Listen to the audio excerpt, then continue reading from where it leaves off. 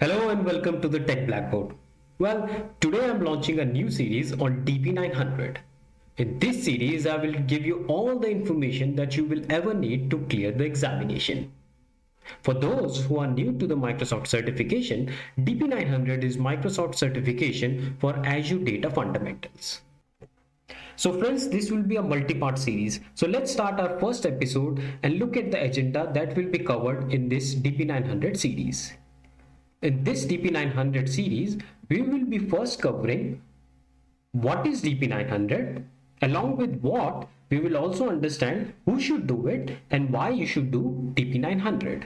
After understanding what, why and who should do DP900, the next topic we will cover is the syllabus of DP900. We will have a detailed look around the syllabus and we will see all the topics that you can expect or you need to prepare in order to clear the examination DP900. Once you understand the syllabus, then I will show you the process of scheduling the exam. I will also give you details on how you can get free Microsoft voucher to clear DP900. Guys, do not skip it so that you don't miss any detail on securing a free Microsoft voucher for DP900 not only DP900, I will give you the detail so you can secure a free Microsoft voucher for the other fundamental exam like AZ900 and AI900. Next on the agenda is exam format. This will also cover how many questions to expect in the examination and what will be the time duration given to clear the examination. The next topic we will cover is question pattern. This section will introduce you to the different kind of question format that you can expect in DP900. This is very important section and please do not skip this section because the format of the question that we will cover in this section not only relates to DP900 but also to AZ900 and AI900. And finally, the most exciting section of this series, the real exam questions. Yes, truly. In this part, I will give you a pool of questions and answer with proper explanation that will increase your chance to clear the exam. Friends, I have just cleared the exam. So I will give you latest set of questions and answers covering which will give you a very solid foundation on this certification. These are all the topics that we will be covering during this series. However, it's very important for you to understand what are your takeaways from this series. Post attending this series, you will be having a solid understanding of DP900 certifications and also decide whether it is for you or not. You will understand the scheduling process and you will also see the process to earn a free Microsoft Azure certification voucher. Besides that, you will have an in-depth understanding of the syllabus for DP900. Not only that, you will also understand what kind of questions come in the exam, but also to understand the time limitation of the examination. Then we will also look at the real exam question. This will give you immense confidence in yourself to clear the examination. So let's start the series. Let's understand what is DP900. DP900 is a Microsoft Azure Data Fundamental exam and you can consider it as a stepping stone for Azure data related concept. After giving this exam, you will be able to understand core data concepts and their implementation in Azure. You will be able to understand batch data and streaming data. Next, DP900 talks about relational DB like Azure SQL Database, Azure SQL Managed Instance, etc. It then covers non-relational database like Azure Cosmos DB. It also talks about Azure Table Storage, Blob Storage, and File Storage. DP900 will also cover data workloads such as transactional or analytical. Here it explains about OLTP and OLAP systems. Now let's understand who should do DP900. Well, let's just admit that data is everywhere. Whether you are just building your hobby website to a big global scale website, whether you are building a gaming app or you are building a e-commerce solution, data is everywhere and it comes in all sizes and shapes. From structured data in a tabular format to semi-structured like files, JSON format and many others. Then we also have complex data structures like sound files or video files. So to answer who should do DP900, I can only say everyone who deals with data. Now let's try to figure out why to do DP900. To start with, I can say because we love data. As I mentioned before, data is pervasive. Data literally surrounds us. In addition to this, DP900 helps you prepare for other Azure role-based certification like Azure Database Administrator Associate or Azure Data Engineer Associate. Now that you understand what, who and why, let's take a dig on syllabus. The syllabus section will take you through all the topics that you need to prepare in order to clear the examination.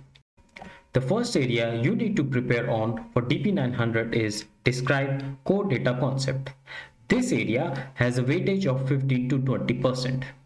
This area is further divided into two major subsections, namely describe types of core data workloads and describe data analytics core concepts. Each subsection is divided into different subheadings. Please do not bother about noting down all these details shown in the video. I will be giving all the important links from Microsoft sites from where you can note all these details whenever the time suits you. Friends, please do encourage my efforts by subscribing to my channel. If you have already done, thank you for that. The next area is how to work with relational data on Azure. This area has a total weightage of 25 to 30%. So you can see this area has more weightage than the earlier area of data concepts. This section is further divided into four sections. Let's have a look on each one of them. The first section is describe relational data workloads. The second one is identify basic management tasks for relational data. The third one is relational Azure data services. And the fourth one is describe query techniques of data using SQL languages. You should build a strong understanding on relational databases and how the information is stored in the form of tables. Then there will be questions around views and index. For example, you may get questions on what are the uses of views and index in a relational database. Expect fair amount of questions from PaaS, IaaS and SaaS solutions. You will also get questions where you would need to identify SQL commands belonging to DDL and DML. But you need not to worry, I have got you covered. When we reach the real exam question section, I will show you lot of examples of all these type of questions with proper answers and explanations.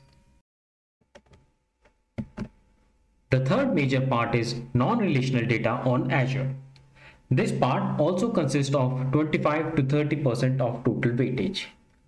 This part is further divided into three subsections. They are non-relational data workloads, then non-relational data offerings on Azure, identify basic management tasks for non-relational data. The key subsections in this area are describe the characteristics of non-relational data. You must understand what are the different types of non-relational and NoSQL data. Then the other key interesting areas are Azure Table Storage, Blob Storage and File Storage. The other interesting subsections are deployment including Azure Portal, Azure Resource Manager template, better known as ARM templates, Azure PowerShell, Azure Command Line or CLI interface. You should also have good understanding on firewall authentication and encryption. Another important section from this area is identity management tools for non-relational data. Let's jump on to the next section. The fourth area is describe an analytics workload on Azure. This area is also 25 to 30% of the total weightage. We have four subsections in this area. They are describe analytics workload, describe the components of a modern data warehouse, describe the data ingestion and processing on Azure, describe data visualization in Microsoft Power BI. Important subsections are describe transactional workload, describe the difference between transactional and analytic workload, describe the difference between batch and real time, describe data warehousing workloads.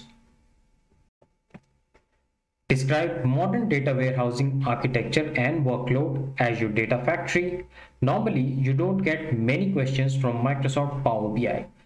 At the max, one or two questions from this section.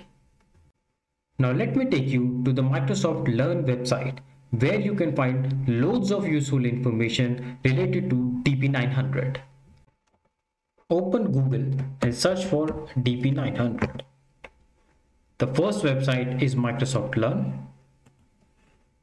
On the very top, it says that the contents of this exam was updated on October 25, 2021. Very recent, you see. It also gives you information that the minimum passing marks is 700. Scroll down a little and here you can see how to schedule your exam. We will see more details on how to schedule your exam in our upcoming video, where I'll also tell you how you can secure a free Microsoft coupon for DP900.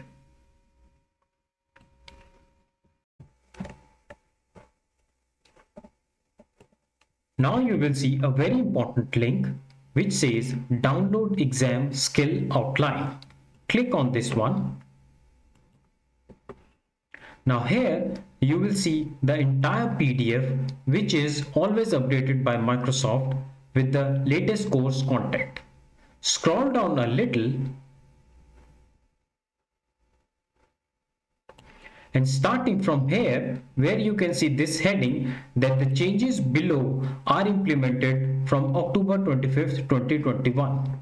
These are the latest changes that Microsoft has incorporated in DP900 examination. All the changes are marked with red font.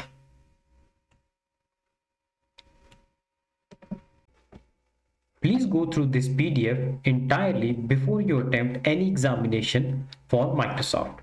Coming back to the Microsoft Learn website, scroll down a little and you will be introduced to a section which says Learning Path.